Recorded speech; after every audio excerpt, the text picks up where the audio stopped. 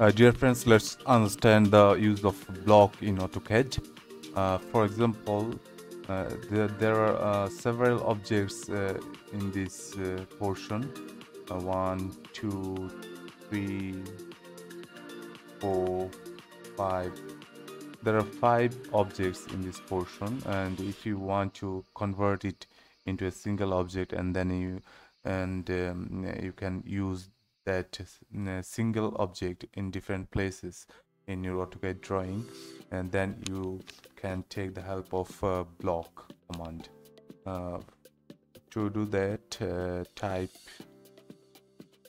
bl bl stands for block and then press enter and select objects. Click on the select objects.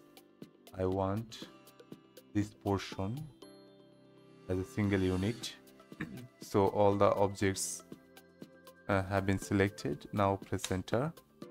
Again uh, name your block and this base point. You have to select a base point. Click a click point. For example mm, let's say my base point is this this one.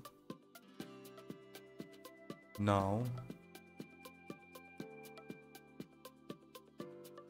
uh, I name the block double A then click OK.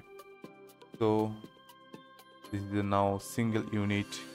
Now you can move this uh, clicking on your base point and you can copy this uh, block in your several places in your drawing as per your requirement. That's how block system actually works.